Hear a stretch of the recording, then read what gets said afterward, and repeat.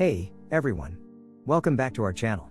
In today's video, we have an exciting topic to cover. We'll be showing you how to download the ChatGPT app on your iPhone. So let's get started. Before we dive into the step-by-step process, let me quickly explain what the ChatGPT app is. It's an amazing application that uses artificial intelligence to generate human-like responses to your queries. It's a fantastic tool for getting instant answers or engaging in interesting conversations. So before getting started, ChatGPT is only available for US regions. So if you're outside US, you can change the region in the App Store and download ChatGPT. So let's get started. First you need to open App Store. Once the App Store is open, let's move on to the search bar. Now type ChatGPT in the search bar.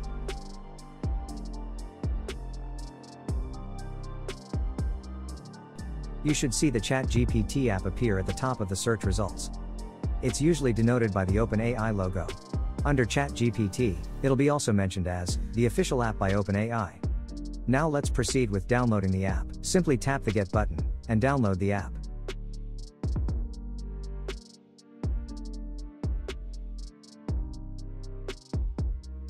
Once the download is complete, let's open the app and start exploring its amazing features of ChatGPT.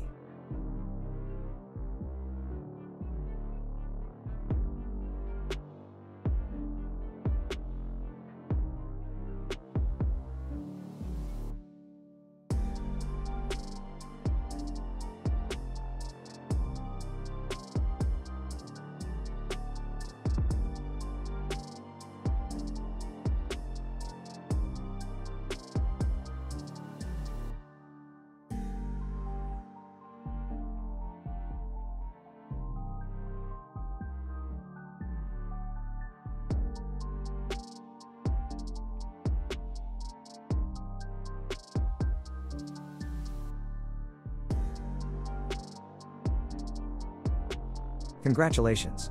You have successfully downloaded and launched the ChatGPT app on your iPhone. Now you can enjoy the power of OpenAI's language model right at your fingertips. That wraps up our tutorial on downloading the ChatGPT app on an iPhone. I hope you found this guide helpful. If you have any questions or need further assistance, feel free to leave a comment down below, and I'll be happy to help.